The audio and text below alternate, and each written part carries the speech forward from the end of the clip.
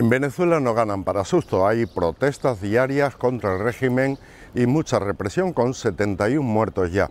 Estábamos en una manifestación por la defensa de la libertad de expresión mientras Maduro entregaba un premio de periodismo a los suyos cuando un helicóptero de la policía ha bombardeado el Tribunal Supremo, un ataque golpista después de una proclama que el régimen llama ataque terrorista. Somos guerreros de Dios y nuestra misión es vivir al servicio del pueblo.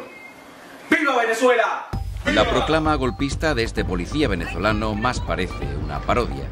Se grabó antes de que un helicóptero de la policía disparara contra el edificio del Tribunal Supremo y del Ministerio del Interior sin causar víctimas. Somos una coalición entre funcionarios militares, policiales y civiles. En la búsqueda del equilibrio y en contra de este gobierno transitorio criminal. Las autoridades buscan al golpista Oscar Pérez, vinculado a la CIA según el gobierno, y al helicóptero policial que han desaparecido. Y tengan la seguridad que más temprano que tarde vamos a capturar el helicóptero y a los que han hecho este ataque terrorista armado contra las instituciones del país.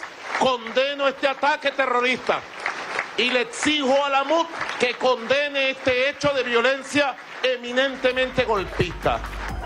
Pero el incidente del helicóptero no distrae a la oposición, que mantiene las movilizaciones y las protestas diarias, cuya represión ha causado ya la muerte de 75 personas. La Mesa de la Unidad Democrática ha redoblado esfuerzos después de estas palabras de Nicolás Maduro. Nosotros jamás nos rendiríamos y lo que no se pudo con los votos, lo haríamos con las armas. Liberaríamos nuestra patria con las armas. La clave de la crisis es la convocatoria de una asamblea constituyente que la Asamblea Nacional, elegida democráticamente y de mayoría opositora, rechaza. Es muy doloroso. Esto es una ofensa al pueblo de Venezuela. También la rechaza la fiscal general de Venezuela, cuyos recursos de nulidad son rechazados por el Tribunal Supremo.